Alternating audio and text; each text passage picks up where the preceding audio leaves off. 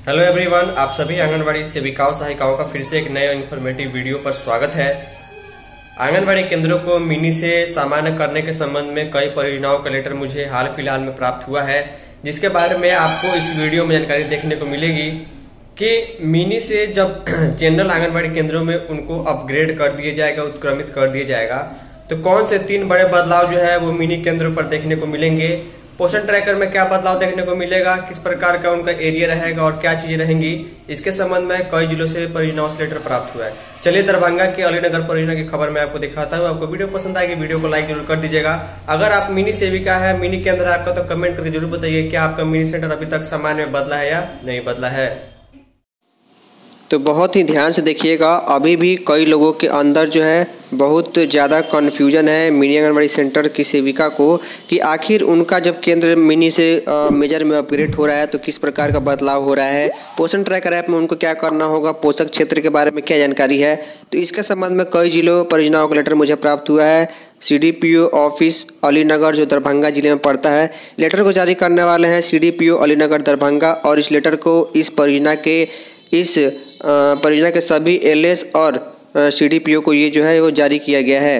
अब देखिए, यहाँ पर सीडीपी ऑफ़िस को जारी किया गया। अलीनगर जो दरभंगा ज़िले के अंतर्गत आता है। सत्ताईस जनवरी 2024 को ही जारी किया गया है। पत्र का विषय उस समय, लगभग 20 दिन पहले ही था कि परियोजना अंतर्गत पूर्व से स्वीकृत सभी 14 मिनी आंगनबाड़ी केंद्रों को समान आंगनबाड़ी केंद्रों में उत्क्रमित करने के संबंध में लिखा गया। पूर्व से स्वीकृत जितने भी मिनी आंगनबाड़ी केंद्र सभी को उत्क्रमित यानी अपग्रेड करने के संबंध में इसका प्रसंग आईसीडीएस के डायरेक्टर कलेक्टर का जो प्रसंग दिया गया, जो जनवरी 2024 में जारी किया गया था।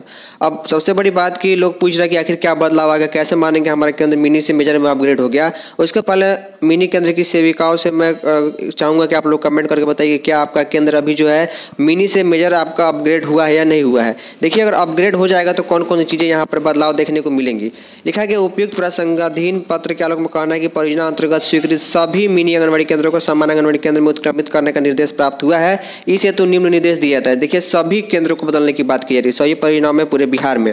पहला जो है कि आपके सेक्टर अंतर्गत पड़ने वाले मिनी आंगनबाड़ी केंद्र की वास्तविक लाभार्थी की सूचना उपलब्ध कराने की सुनिश्चित करेंगी ताकि सामान्य आंगनबाड़ी केंद्र पर जन सभी सुविधाओं का लाभ लाभार्थी को मिल पाए। सबसे पहली बात की जनसंख्या उतनी होनी चाहिए जितने के लिए सामान्य आंगनबाड़ी केंद्र आता है तो उसको जो है मिनी केंद्र को सामान्य बदल में बदल दिया जाएगा और सुविधा यानी कि पोषाहार, मानदेय वगैरह सब जो है मिनी केंद्र को जो है अपग्रेड होने पर सामान्य केंद्र की सेविका के बराबर मिलेगा। दूसरा जो बदलाव है कि सूची के आधार पर ही पोषण ट्रैकर ऐप पर आंगनबाड़ी केंद्रों की विवरणी अद्यतन अद्यतन किया जा सकता है। अभी तक जो है मिनी केंद्र की सेविका अपना पोषण ट्रैकर ऐप चलाती थी तो उसमें जनसंख्या कम था, कम लाभार्थी रजिस्टर्ड थे और उनका पुरस्कार भी कम था, सारी चीज़ें कम थी, लेकिन अब उनको अपग्रेड वहाँ भी कर दिया जाएगा, उनका डिटेल वहाँ भी अपग्रेड अपडेट किया जाएगा। तीसरा जो बदलाव करना था कि वैसे मिनी आंगनबाड़ी केंद्र, जो सामान्य आंगनबाड़ी केंद्र में उत्क्रमित किया जाना है, उनकी मैपिंग पंजी, ये सबसे बड़ा डॉक्यूमेंट है अपग्रेड करने में या बहाली करने में।